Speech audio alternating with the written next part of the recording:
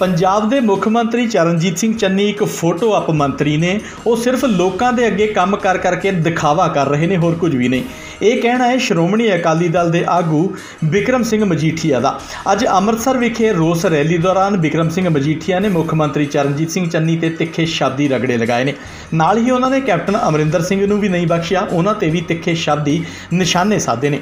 ਇਸ ਦੇ ਨਾਲ ਹੀ ਉਹਨਾਂ ਨੇ ਜਗਦੀਸ਼ ਟਾਈਟਲਰ ਨੂੰ, ਜੋ ਕਿ ਦਿੱਲੀ ਪ੍ਰਦੇਸ਼ ਕਾਂਗਰਸ ਕਮੇਟੀ ਦੇ ਵਿੱਚ ਉਹਨਾਂ ਨੂੰ ਜਗ੍ਹਾ ਦਿੱਤੀ ਗਈ ਹੈ, ਉਸ ਦੇ ਉੱਤੇ ਕਾਂਗਰਸ ਹਾਈ ਕਮਾਂਡ ਤੇ ਨਿਸ਼ਾਨਾ ਸਾਧਦੇ ਹੋਏ ਕਿਹਾ ਹੈ ਕਿ 1984 ਦੇ ਸਿੱਖ ਜੋ ਕਤਲ ਹੋਏ ਸੀ, ਜਿਨ੍ਹਾਂ ਦਾ ਕਤਲੇਆਮ ਹੋਇਆ ਸੀ, ਉਹਨਾਂ ਦੇ ਪ੍ਰਤੀ ਕਾਂਗਰਸ ਹਾਈ ਕਮਾਨ ਕੀ ਸੋਚ ਰੱਖਦੀ ਹੈ, ਉਹ ਇਹ ਫੈਸਲਾ ਲੈਣ ਤੋਂ ਬਾਅਦ ਸਾਹਮਣੇ ਆ ਚੁੱਕਿਆ। ਹੋਰ ਕੀ ਕੀ ਕਿਹਾ ਬਿਕਰਮ ਸਿੰਘ ਮਜੀਠੀਆ ਨੇ? ਆਓ ਸੁਣ ਲੈਂਦੇ ਹਾਂ। ਲੋਕਾਂ ਦਾ ਜਿਹੜੇ ਬਾਰਡਰ ਦੇ ਪਿੰਡ ਪਿੰਡ ਤੋਂ ਆਏ ਵਾਕਾ ਅਟਾਰੀ ਤੋਂ ਆਪਣਾ ਸੁਨੇਹਾ ਲੈ ਕੇ ਅੱਜ ਸ੍ਰੀ ਅੰਮ੍ਰਿਤਸਰ ਸਾਹਿਬ 골ਡਨ ਗੇਟ ਤੱਕ ਆਏ ਆ, ਉਹਨਾਂ ਸਾਰੇ ਬਜ਼ੁਰਗਾਂ ਦਾ, ਨੌਜਵਾਨਾਂ ਦਾ, ਹਰੇਕ ਦਾ ਦਿਲ ਦੀਆਂ ਗਹਿਰਾਈਆਂ ਚੋਂ ਧੰਨਵਾਦ ਕਰਦਾ। ਔਰ ਬੜੇ ਸ਼ਾਰਟ ਨੋਟਿਸ 'ਚ ਅੱਜ ਇਹ ਇੱਕ ਰੋਡ ਸ਼ੋ ਰੋਸ ਮਾਰਚ ਜੋ ਪੰਜਾਬ ਦੇ ਅਧਿਕਾਰਾਂ ਨੂੰ ਖੋਣ ਦੀ ਗੱਲ ਕੀਤੀ ਜਾ ਰਹੀ ਹੈ। ਔਰ ਜਿਹਦੇ ਚ ਚੰਨੀ ਸਰਕਾਰ ਕਾਂਗਰਸ ਦੀ ਫਿਕਸਡ ਮੈਚ ਸੈਂਟਰ ਦੇ ਨਾਲ ਸਾਫ਼ ਨਜ਼ਰ ਆ ਰਿਹਾ, ਉਹਦੇ ਉਲਟ ਕਿ ਫੈਡਰਲ ਢਾਂਚੇ ਨੂੰ ਬਚਾਉਣਾ ਲੋਕਤੰਤਰ ਦੀ ਸ਼ਾਨ ਹੈ ਫੈਡਰਲ ਢਾਂਚਾ ਪੰਜਾਬ ਦੀ ਖੁਦ ਮੁਖਤਿਆਰੀ ਦੀ ਗੱਲ ਹੈ, ਪੰਜਾਬੀ ਆਪ ਦਾ ਫੈਸਲਾ ਆਪ ਕਰਨਗੇ। ਬੀਐਸਐਫ ਦਾ ਮਤਲਬ ਹੈ ਬਾਰਡਰ ਸਿਕਿਉਰਿਟੀ ਫੋਰਸ ਉਹਨਾਂ ਦਾ, ਇਹਦਾ ਮਤਲਬ ਹੈ ਬਾਰਡਰ ਤੇ ਰਹਿਣਾ। ਅਸੀਂ ਸਿਕਿਉਰਿਟੀ ਫੋਰਸਸ ਦਾ ਸਤਿਕਾਰ ਕਰਦੇ ਹਾਂ, ਮਗਰ ਇੰਟਰਨਲ ਸਿਕਿਉਰਿਟੀ ਇਹ ਜ਼ਿੰਮੇਵਾਰੀ ਸੂਬੇ ਦੀ ਸਰਕਾਰ ਦੀ ਹੈ।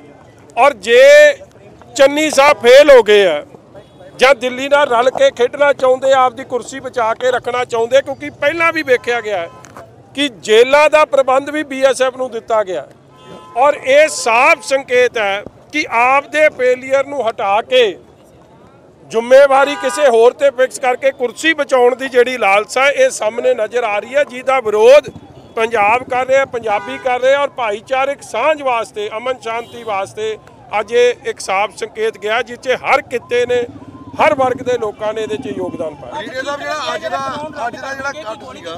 ਹਾਂਜੀ। 8 ਤਰੀਕ ਤੱਕ ਕਾਨੂੰਨ ਰੱਦ ਹੋ ਜਾਣਗੇ ਚੰਨੀ ਸਾਹਿਬ ਕਹਿ ਰਹੇ ਨੇ। ਚੰਨੀ ਸਾਹਿਬ ਇੱਕ ਫੋਟੋ ਆਪ ਤੇ ਮੀਡੀਆ ਸਟੰਟ ਕਰ ਰਹੇ ਆ ਜੋ ਪਿਛਲੀ ਵਾਰੀ ਕੈਪਟਨ ਦੀ ਪੌਣੇ 5 ਸਾਲ ਵਜ਼ਾਰਤ 'ਚ ਮੈਂਬਰ ਰਹੇ ਆ ਜਦੋਂ ਪਿਛਲੀ ਵਾਰੀ ਕਹਿੰਦੇ ਸੀ ਅਸੀਂ ਰੱਦ ਕਰਤਾ ਤੇ ਫਿਰ ਹੁਣ ਅੱਜ ਰੱਦ ਕਰਨ ਦਾ ਮਤਲਬ ਕੀ ਆ ਝੂਠ ਤਾਂ ਇਤੋਂ ਹੀ ਪਰਦਾ ਫਾਸ਼ ਹੋ ਗਿਆ।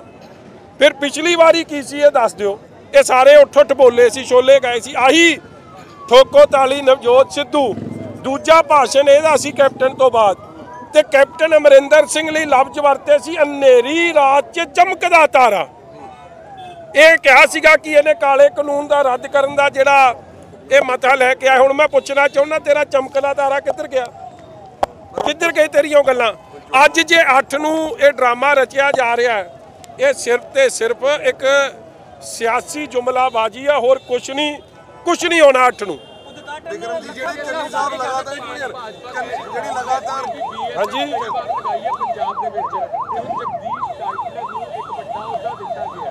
ਦੇਖੋ ਜਗਦੀਸ਼ ਟਾਈਟਲਰ ਨੂੰ 37 ਮੈਂਬਰੀ ਕਮੇਟੀ ਦਾ ਇੱਕ ਮੈਂਬਰ ਬਣਾਉਣਾ ਗਾਂਧੀ ਪਰਿਵਾਰ ਦੀ 84 ਬਾਰੇ 84 ਦੇ ਕਤਲੇਆਮ ਬਾਰੇ ਦਿੱਲੀ 'ਚ ਜੋ ਕੁਝ ਹੋਇਆ, ਉਹਦੇ ਬਾਰੇ ਕੀ ਸੋਚ ਹੈ ਤੇ ਕੀ ਮਨਸ਼ਾ ਹੈ, ਇਸ ਤੋਂ ਹੀ ਸਾਫ਼ ਹੈ। ਭਾਵੇਂ ਉਹਨਾਂ ਨੇ ਸਾਫ਼ ਪਹਿਲਾਂ ਵੀ ਬੜੀ ਵਾਰੀ ਕੀਤੀ ਹੈ।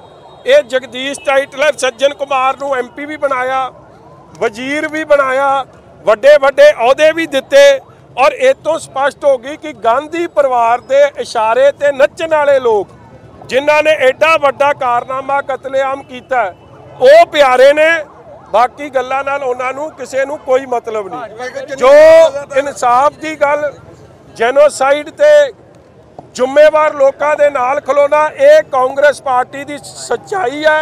ਔਰ ਅੱਜ ਮੈਂ ਪੁੱਛਦਾ ਪੰਜਾਬ ਕਾਂਗਰਸ ਨੂੰ ਕਿ ਉਹ ਇਸ ਗੱਲ ਦਾ ਸਵਾਗਤ ਕਰਦੇ ਆ ਕਿ ਵਿਰੋਧ ਕਰਨਗੇ ਸੋਨੀਆ ਗਾਂਧੀ ਰਾਹੁਲ ਗਾਂਧੀ ਦਾ? ਚੰਨੀ ਸਾਹਿਬ ਲਗਾਤਾਰ ਦਿੱਲੀ ਜਾ ਰਹੇ ਨੇ ਗੇੜੇ ਤੇ ਗੇੜਾ ਅੱਜ ਵੀ ਦੂਜੀ ਵਾਰੀ ਗਏ ਫਿਰ ਬੁਲਾ ਲਿਆ। ਕੀ ਜਿਹੜੇ ਪੰਜਾਬ ਦੇ ਵਿੱਚ ਜਿਵੇਂ ਤੁਸੀਂ ਪ੍ਰੋਟੈਸਟ ਕਰ ਰਹੇ ਹੋਰ ਪੰਜਾਬ ਆਈਸੀਯੂ 'ਚ ਆ। ਪੰਜਾਬ ਦਾ ਹਰ ਵਰਗ ਸੜਕਾਂ ਤੇ ਆ ਮੁਲਾਜ਼ਮ ਕਿਸਾਨ ਬੇਰੋਜ਼ਗਾਰ ਨੌਜਵਾਨ ਹਰ ਵਰਗੀ। ਮਗਰ ਚੰਨੀ ਸਾਹਿਬ ਇੱਕ ਇੱਕ ਫੈਸਲੇ ਲਈ ਕਿਹੜਾ ਐਸਐਸਪੀ ਕਿੱਥੇ ਲਾਉਣਾ ਕਿਹੜਾ ਡਿਪਟੀ ਕਿੱਥੇ ਲਾਉਣਾ ਕਿਹੜਾ ਥਾਣੇਦਾਰ ਕਿੱਥੇ ਲਾਉਣਾ ਹੁਣ ਉਹ ਰਾਹੁਲ ਗਾਂਧੀ ਪੱਪੂ ਫੈਸਲਾ ਕਰ ਰਿਹਾ। ਚੰਨੀ ਦੇ ਹੱਥ 'ਚ ਕੁਝ ਨਹੀਂ। ਔਰ ਇਹ ਅਫਸੋਸ ਦੀ ਗੱਲ ਹੈ ਕਿ ਪੰਜਾਬ ਦੇ ਹਾਲਾਤ ਬਣ ਗਏ ਔਰ ਇਸ ਗੱਲ ਦੀ ਟਿੱਪਣੀ ਤਾਂ ਜਾਖੜ ਸਾਹਿਬ ਕਰ ਰਹੇ ਆ। ਉਹਨਾਂ ਨੇ ਆਪਦੀ ਟਵੀਟ ਰਾਹੀਂ ਕਿਹਾ ਕਿ ਦੇਖੋ ਇਹਨਾਂ ਦੇ ਹਾਲ ਵੇਖ ਲਓ ਦਿੱਲੀ ਦਾ ਸੀਐਮ ਇੱਥੇ ਇਹ ਸਾਡਾ ਸੀਐਮ ਦਿੱਲੀ 'ਚ। ਸੋ ਮਤਲਬ ਕੀ ਕਹਿ ਸਕਦੇ ਹੋ ਜਦੋਂ ਉਹਨਾਂ ਦੇ ਆਪਦੇ ਬੰਦੇ ਹੀ ਕਹਿ ਰਹੇ? ਭਾਜੀ ਸਾਹਿਬ ਫਿਰ ਕੇਜਰੀਵਾਲ ਸਾਹਿਬ ਆਉਂਦੇ ਨੇ ਇੱਥੇ ਫਿਰ ਖੇਤੀਬਾੜੀ ਦੀ ਗੱਲ ਕਰ ਰਹੇ ਨੇ ਕਿ ਮੈਂ ਆਂਦੇ ਸਾਰੀ ਜਦ ਸਰਕਾਰ ਬਣਾਉਂਦੇ ਸਾਰੀ ਕਰਜ਼ੇ ਮਾਫ ਕਰ ਦਿੰਦੇ ਦੇਖੋ ਕੇਜਰੀਵਾਲ ਸਾਹਿਬ ਨੂੰ ਮੈਂ ਇੱਕ ਗੱਲ ਪੁੱਛਣਾ ਚਾਹੁੰਦਾ ਕਿ ਉਹਨਾਂ ਦਾ ਪ੍ਰੋਗਰਾਮ ਹੋਇਆ ਸੀ। ਔਰ ਉਸ ਪ੍ਰੋਗਰਾਮ 'ਚ ਇੱਕ ਕਿਸਾਨ ਨੇ ਦਰਖਤ ਤੇ ਉਹਨਾਂ ਦੀ ਅੱਖਾਂ ਦੇ ਸਾਹਮਣੇ ਪਾਹਾ ਲੈ ਲਿਆ ਸੀ ਦਿੱਲੀ 'ਚ। ਉਹ ਤਾਂ ਉਹਨਾਂ ਤੋਂ ਰੋਕਿਆ ਨਹੀਂ ਗਿਆ। ਕੇਜਰੀਵਾਲ ਸਾਹਿਬ ਦਾ ਕੇਵਲ ਕੰਮ ਬਣ ਗਿਆ ਡਰਾਮੇ ਕਰਨਾ ਸ਼ੋਸ਼ਾ ਕਰਨਾ। ਇੱਕ ਇਹ ਸੀਰੀਅਲ ਮੈਨੂੰ ਲੱਗਦਾ ਬਣਾਉਣਾ ਚਾਹੁੰਦੇ ਆ ਉਹ- ਉਹਦੇ ਇਹ ਮੁੱਖ ਡਾਇਰੈਕਟਰ ਸਮਝ ਲਓ। ਦਿੱਲੀ 'ਚ ਜੋ ਹਾਲ ਹੈ ਹਾਂਜੀ?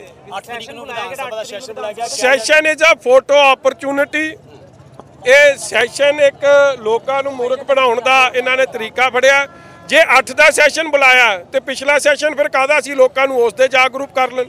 ਜਿੱਚੇ ਕਹਿੰਦੇ ਸੀ ਕਾਲੇ ਕਾਨੂੰਨ ਰੱਦ ਕੀਤੇ। ਸੋ ਉਹਨਾਂ ਦੀ ਇਹ ਕੱਲਾ ਆਪਦੀ ਸਿਆਸੀ ਜੁਮਲਾਬਾਜ਼ੀ ਹੈ ਜਿਹੜੀ ਸਪਸ਼ਟ ਹੋ ਰਹੀ ਹੈ। ਇਹ ਜਿਹੜੇ ਤੁਸੀਂ ਅੱਜ ਵੱਡਾ ਤੁਸੀਂ ਇਕੱਠ ਕੀਤਾ ਮਾਰਚ ਕੀਤਾ ਇਹ ਲੜਾਈ ਨੂੰ ਤੁਸੀਂ ਅੱਗੇ ਵੀ ਲੈ ਕੇ ਜਾਓਗੇ 8 ਤਰੀਕ ਨੂੰ ਤੁਹਾਡੇ ਦੇਖੋ ਅੱਜ ਇੱਕ ਮੈਸੇਜ ਕਿਉਂਕਿ ਇਹ ਮਸਲਾ ਬਾਰਡਰ ਦਾ ਔਰ ਇਹ ਵਾਘੇ ਅਟਾਰੀ ਤੋਂ ਸੰਗਤਾਂ ਤੁਰੀਆਂ ਨੇ ਉਹਨਾਂ ਨੇ ਆਪ ਦਾ ਸੁਨੇਹਾ ਭੇਜਿਆ। ਮੈਨੂੰ ਆਸ ਹੈ ਉਮੀਦ ਹੈ ਕਿ ਫਿਕਸਡ ਮੈਚ ਖੇਡਣ ਵਾਲੇ ਕਾਂਗਰਸ ਵੀ ਤੇ ਸੈਂਟਰ ਵੀ ਇਸ ਗੱਲ ਤੋਂ ਗੁਰੇਜ਼ ਕਰਨਗੇ ਫੈਡਰਲ ਸਟਰਕਚਰ ਨੂੰ ਬਹਾਲ ਰੱਖਣਗੇ ਪੰਜਾਬ ਦੇ ਫੈਸਲੇ ਪੰਜਾਬੀ ਕਰਨਗੇ ਔਰ ਇੰਟਰਨਲ ਸਿਕਿਉਰਿਟੀ ਇਹ ਪੰਜਾਬ ਪੁਲਿਸ ਦਾ ਮੁੱਦਾ ਹੈ। ਜੇ ਪੰਜਾਬ ਪੁਲਿਸ ਤੇ ਭਰੋਸਾ ਨਹੀਂ ਲਿਆ ਫਿਰ ਤੁਹਾਡਾ ਹੋਮ ਮਿਨਿਸਟਰ ਕਾਹਦੇ ਲਈ ਲਾਇਆ ਕ- ਸੁੱਖੀ ਰੰਧਾਵਾ? ਫਿਰ ਛੁੱਟੀ ਕਰ ਦਿਓ ਸਭ ਦੀ। ਬੀਐਸਐਫ ਨੂੰ ਜੇ ਸਾਰਾ ਕੁਝ ਦੇਣਾ ਹੈ, ਤੇ ਪੰਜਾਬ ਪੁਲਿਸ ਤੇ ਫਿਰ ਐਡਾ ਤਨਖਾਹ ਤੇ ਖਰਚਾ ਕਿਉਂ ਕਰਦੇ ਹੋ? ਇਸ ਲਈ ਇਹ ਪੰਜਾਬ ਦੇ ਉਲਟ ਫੈਸਲੇ ਨੇ, ਅਧਿਕਾਰਾਂ ਦੀ ਗੱਲ ਹੈ ਔਰ ਅਸੀਂ ਫੈਡਰਲ ਸਟਰਕਚਰ ਦੀ ਬਹਾਲੀ ਲਈ ਇਹ ਆਸ ਕਰਦੇ ਹਾਂ ਕਿ ਬਾਰਡਰ ਤੇ ਸਿਕਿਉਰਿਟੀ ਫੋਰਸਸ ਰਹਿਣ। ਉਹਦਾ ਮਤਲਬ ਵੀ BSF border security force border ਤੇ ਧਿਆਨ ਦੇਣ। ਉੱਥੇ ਅਸੀਂ ਉਹਨਾਂ ਦਾ ਸਾਥ ਦੇਵਾਂਗੇ। ਜੋ ਲੋੜ ਹੈ, ਸਾਰੀ ਦੁ- ਦੇਸ਼ ਹੀ ਉਹਨਾਂ ਦੇ ਨਾਲ ਹੈ ਇਸ ਮੁੱਦੇ ਤੇ। ਔਰ ਕੁਰਬਾਨੀ ਦੇਣ ਵਾਲੇ ਵੀ ਸਾਡੇ ਮੁੰਡੇ, ਇਸ ਲਈ ਅਸੀਂ ਸਿਕਿਉਰਿਟੀ ਫੋਰਸਸ ਦਾ ਸਤਿਕਾਰ ਕਰਦੇ ਹਾਂ, ਮਗਰ ਫੈਡਰਲ ਢਾਂਚੇ ਢਾਂਚੇ ਨਾਲ ਕਿਸੇ ਨੂੰ ਖੇਲਖਾੜ ਨਹੀਂ ਕਰਨ ਦੇਵਾਂਗੇ।